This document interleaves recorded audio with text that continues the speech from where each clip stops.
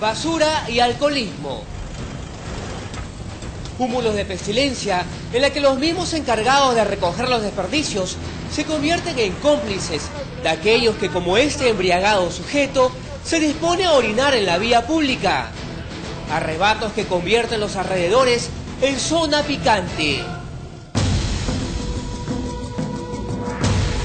Este delincuente que no llega a los 18 años acaba de divisar a su víctima. La sigue, pero en el camino coordina por celular con sus cómplices. Al llegar a la esquina de la calle, da rienda suelta a su estirpe criminal.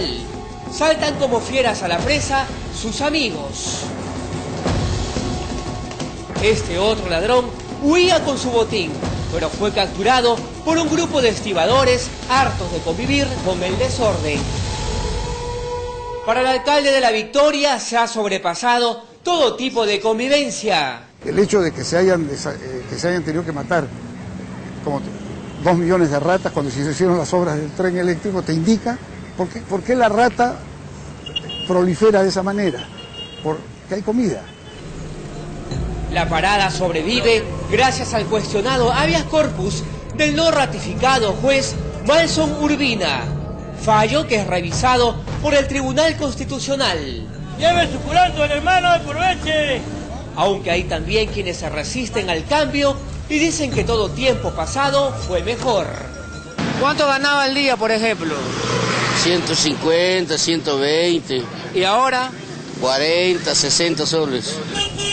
El comercio dentro del mercado continúa. La dirigente Ida Ávila dice que no son responsables de lo que ocurre afuera. No somos responsables de la basura que hay a los alrededores, de los borrachos que se encuentran, de la delincuencia, porque esa es responsabilidad de la municipalidad. Carlos Aguilar, abogado de los comerciantes, insiste en que la ley los ampara, que por ser un terreno donado puede aquí levantar otro moderno mercado. Lo llamarán Luis Canepa, en honor a la familia que se dio parte de su herencia para los comerciantes en 1945. La inversión asegura es de 80 millones de dólares. Estoy seguro que de repente con esta gestión municipal ya no se puede hacer, pero con el próximo alcalde que va a entender que la parada tiene que ser una parada moderna. La modernidad debe ir de la mano de la ley. Como está ahora la parada y sus alrededores, solo es visible su lado más oscuro.